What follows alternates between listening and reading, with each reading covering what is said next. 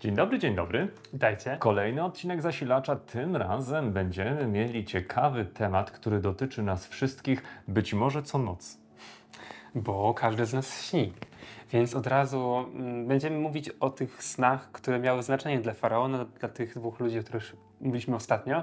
Ale czy Wam się zdarzyło może mieć taki sen, który był na tyle ciekawy, dziwny, e, że może myśleliście, albo przemknął wam przez myśl, że może być od Boga, albo może mieć jakieś znaczenie. Jeżeli mieliście jakiś taki sen, który myślicie, że mógł mieć jakieś znaczenie, to napiszcie w komentarzu. Jesteśmy ciekawi, ile osób y, no, jakby doświadcza czegoś takiego. Tak jest, a my będziemy czytać fragment z rozdziału 41 od wersetu 8. Dobrze pamiętam? Tak.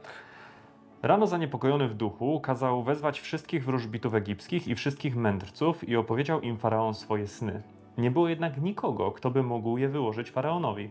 Wtedy odezwał się przełożony podczaszych do faraona i rzekł: Przypominają mi się dziś grzechy moje. Gdy faraon rozgniewał się raz na sługi swoje, wtrącił mnie do więzienia w domu dowódcy straży przybocznej, mnie i przełożonego piekarzy. Obaj mieliśmy jeden i ten sam, tej samej nocy sen, ja i on, a każdy sen co innego oznaczał, a był tam z nami młody Hebrajczyk, sługa dowódcy straży przybocznej, któremu opowiedziawszy to i opowiedzieliśmy to i wyłożył sny nasze. Każdemu wyłożył zgodnie z jego snem. I stało się tak, jak nam wyłożył. Mnie przywrócono do urzędu mojego, a jego powieszono. Wtedy faraon kazał sprowadzić Józefa, wprowadzono go więc śpiesznie, a gdy się ostrzegł i zmienił szaty, przyszedł do faraona.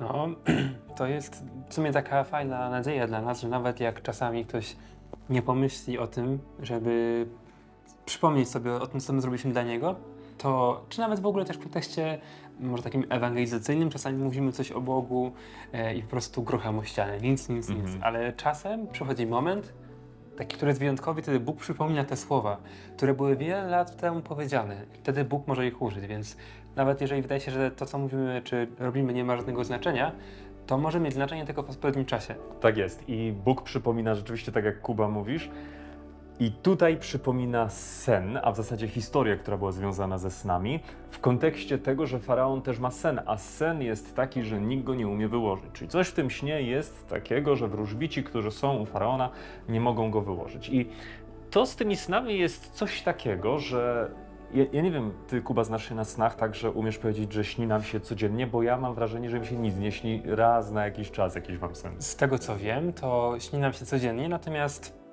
ułamek sekundy po przebudzeniu zap no, zapominamy wszystko. Mhm. E, więc mi się też czasami tak zdarzało, że byłem w stanie coś tam powiedzieć zaraz po co mi się śniło, a potem już totalnie nic. Na pewno znacie ten moment, nie? Jak się budzicie i wiecie, że coś się śniło i próbujecie sobie przypomnieć, bo może to nawet fajne było, ale no nie da się. To trochę tak jak, jak e, król Nebukadnezar, nie? Tak. Że sen go odszedł, zapomniał sen. W każdym razie z tymi snami jest tak, że nieraz wywierają na nas wrażenie. Mm, ja na przykład pamiętam, że śniły mi się koszmary, jak byłem nastolatkiem, i one się regularnie powtarzały i naprawdę wywierały na mnie wrażenie, że jak się budziłem, to tak się bałem, że zakrywałem sobie głowę, nogi, żeby no bo ciemno. Nie? W takich momentach cieszę się, że mi się bardzo rzadko coś śni, żebym pamiętał. Ale są też innego rodzaju sny. Są sny, które mogą mieć jakieś znaczenie. I teraz spotkałeś się kiedyś może z takimi interpretacjami snów, które mówią, że jak śni się woda, to nie wiem, na pewno ktoś umrze. Albo jak gdzieś ścinają drzewa, to coś, coś tam innego się dzieje. Ludzie kiedyś mieli takie ja nie wiem, pewnie dalej coś takiego funkcjonuje, nie? Jakieś takie interpretacje tych snów, które, które mają miejsce, próbując w ten sposób nadać znaczenie każdemu snu, snowi? Każ mhm. Wszystkiemu, co ci się śni. Ale tutaj nawet wydaje mi się, że i Egipcjanie starożytni byli mądrzejsi, bo powiedzieli, nawet faraon powiedział, w 15 wersecie czytamy, wtedy faraon rzekł do Józefa, miałem sen, a nie ma nikogo, kto by go wyłożył ale o tobie słyszałem, że gdy usłyszysz sen, umiesz go wyłożyć. Józef odpowiedział faraonowi, nie mojej to mocy, lecz Bóg udzieli faraonowi pomyślnej odpowiedzi, więc tutaj od razu ta myśl, jeżeli coś się przyśni, mhm. nawet faraon w starożytnym Egipcie ogarniał, że nie każdy ma ten dar wykładania słów, a naprawdę wydaje mi się, że czytając jakąkolwiek księgę, książkę, tym bardziej Biblię, nasza interpretacja czasem krąży w bardzo różnych, dziwnych kierunkach, których Bóg nie zamierzał, a tym bardziej, jeżeli chodzi o sny, trzeba być ostrożnym w interpretacji. Mhm. Tak, tym bardziej, że nawet taka logika zwykła nas poucza, że nie wszystko, co nam się śni, ma sens. Bo jeżeli macie sny choć trochę podobne do tych, które ja pamiętam, to musicie założyć, że naprawdę nie wszystko ma sens rzeczy, które nam się śnią, a, a próbować tłumaczyć je, no, wydaje się być niepotrzebnym jakimś tam kierunkiem. Natomiast to nie oznacza, że Bóg nie przemawia do ludzi przez sny. I to widać w tej historii. Ty miałeś, Kuba, kiedyś jakiś taki sen, który miałeś takie wrażenie, że może pochodzi od Boga? Mm, miałem takie momenty, że jakby czułem, że Bóg chce, chce mi coś przekazać. Nie byłem w stanie tam interpretować jakiegoś tam op- opisu szerokiego, że coś takiego, coś takiego, ale czasem było tak, że po przebudzeniu coś mi się śniło, miałem jakieś takie przekonanie, żeby, no nie wiem, raz było to to, że gdzieś tam śniły mi się jakieś takie moce ciemności i czułem ten taki trochę stres, że, ale dla mnie to było takim przypomnieniem, że jest walka duchowa i że, że potrzebuję szukać tego ratunku u Boga, więc nie był to żaden sen proroczy, tylko może takie, nawet nie wiem, czy to dobrze zinterpretowałem, to może to był tylko koszmar, ale ważne, że miał pozytywny skutek dla mnie. Super. Ja, ja właśnie tak myślę, że ogólnie w Biblii jest taka perspektywa, jak rozumiem, że w większości przypadków, gdy Bóg przemawia przez sny, to przemawia do proroków. Nie, bo on przemawia Tak. przez widzenia i sny. Nie, nie tylko, no choćby faraon, o którym czytamy, nie jest prorokiem, a jednak Bóg do niego przemawia. Mamy tutaj kontekst, w którym Bóg chce uratować cały świat i, i te, tak się dzieje. Bodajże wcześniej też mamy sytuację, w której do Abimelecha bodajże? W każdym razie gdzieś, gdzieś Tak. tam, gdzieś tam Bóg Przez sen, przez czy nawet do faraona wcześniej, kiedy chodzi o Sarę, tak mi się wydaje, No gdzieś tam, gdzieś tam mamy jeszcze sytuację, w której Bóg przemawia przez sny, więc my nie chcemy powiedzieć, że Bóg tego nie robi, tylko raczej należy przyjąć taką ostrożną perspektywę, żeby przypadkiem nie wpisać w sny rzeczy, których tam nie ma, tym bardziej, że czasem sny przychodzą dlatego, że po prostu za późno jedliśmy albo nasz umysł nie umie odpocząć tak, jakby chciał. A czasami, jak jesteśmy gorliwi i bardzo chcemy usłyszeć coś od Boga, to doszukujemy się znaków w wielu rzeczach. I tym bardziej wtedy, jak chcemy coś usłyszeć od Boga, trzeba być ostrożnym, bo łatwo jest nam ludziom interpretować to, co chcemy zinterpretować, tak jak chcemy coś widzieć, to tak to widzimy. I chyba dlatego warto jest, gdy myślimy nawet o snach, podchodzić do nich tak jak do wielu rzeczy, które słyszymy, żeby jak już chcemy naprawdę coś w nich znaleźć, to próbujmy to zrobić na podstawie tego, co opisane jest w Biblii, żeby czasem nie wyciągać z tego rzeczy, których tam nie ma. I wiadomo, że w snach zwykle my chcemy takich praktycznych rzeczy, których w Biblii nie znajdziemy, ale jednak czasem może być inaczej. Ja miałem kiedyś taki sen. Śniło mi się, że budzę się w trawie i czuję w tym śnie jakieś wielkie niebezpieczeństwo. Ktoś ma mi tam zrobić krzywdę, no, bez szczegółów. I podchodzi do mnie dwóch ludzi.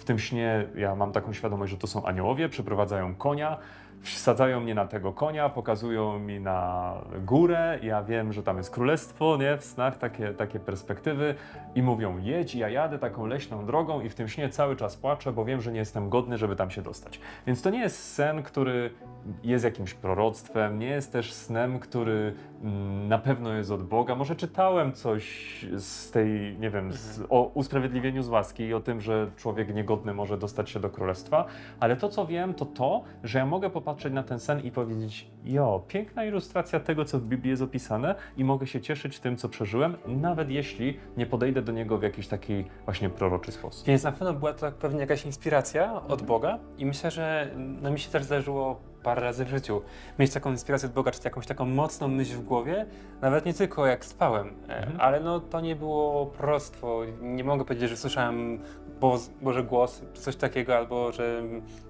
one zmieniły coś, że ja wiedziałem, co się stanie, Mhm. ale po prostu myślę, że Bóg ingeruje przez nasze sumienie, nasze myśli i nasze sny.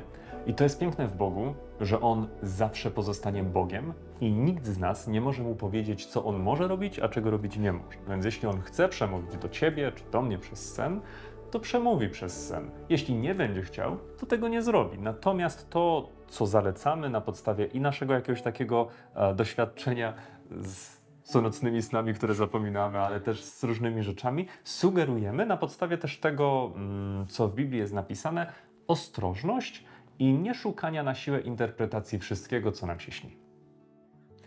Chyba tyle. Chyba tyle. Więc pamiętajcie, żeby, że od Boga to zależy i jak to tłumaczyć. To nie jest w naszej mocy, jak to Józef bardzo wyraźnie podkreśla, e, ale też bądźmy otwarci na to, żeby Bóg kierował nasze życie. Może niekoniecznie on będzie chciał mówić do nas przez sny, ale na pewno będzie mówił przez Jego Słowo i tak jak faraon ostrzegał przed czymś, tak samo nas też chce ostrzegać. Więc bądźmy, szukajmy tego Bożego głosu, ale niech to nie będą tylko sny i nasze interpretacje, tylko po prostu modlitwa, Jego słowo i też bycie otwartym na to, co On chce nam przedstawić. Więc tego głosu będziemy teraz szukać w modlitwie, którą rozpoczniecie wy.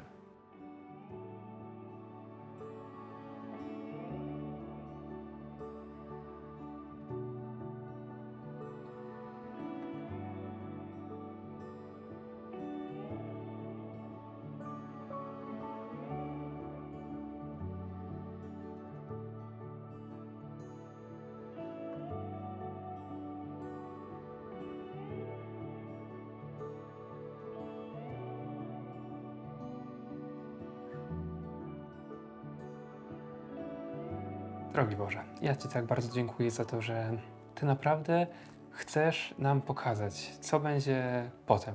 Właśnie po to dałeś proroctwa w Twojej księdze. Dziękuję Ci za to, że Ty dajesz nam też ten pokój, że Ty nas przyprowadzisz, nawet jeżeli będą trudności, nawet jeżeli będą te chude lata, Ty, ty Panie, ostrzegasz nas, żebyśmy mogli się przygotować. I proszę Cię też o taką, taki zdrowy rozsądek w tym, żebyśmy nie ulegali naszym własnym wykładniom, jakimś dziwnym wnioskom, które czasami pojawiają się w naszej głowie, czy czasami nam się śnią. Proszę Cię o to, żebyśmy mogli tak mądrze korzystać z tego, co Ty dajesz nam jako wskazówki do tego kierunku, który jest najlepszy, do, do zbliżenia się do Ciebie i podążania tą jedyną słuszną ścieżką. W imieniu Jezusa. Amen. Amen. Dziękujemy, że byliście z nami. Kolejny raz. E, Pamiętajcie, żeby film polubić, a my, cóż, widzimy się już jutro. Do zobaczenia. Cześć.